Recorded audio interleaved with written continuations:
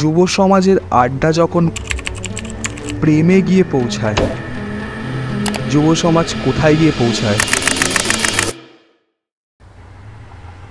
কলকাতা মানে হচ্ছে city of culture city of heritage and city of surprise স্বাধীন যুগে আমরা স্বাধীনভাবে বাঁচছি।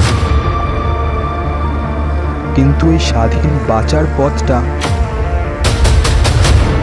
কলকাতার শিক্ষিত সমাজকে যারা প্রথম শিখিয়েছিল, আমাদের সংস্কৃতিতে তাদের অংশটা ভেঙে গেল তো চলবে না।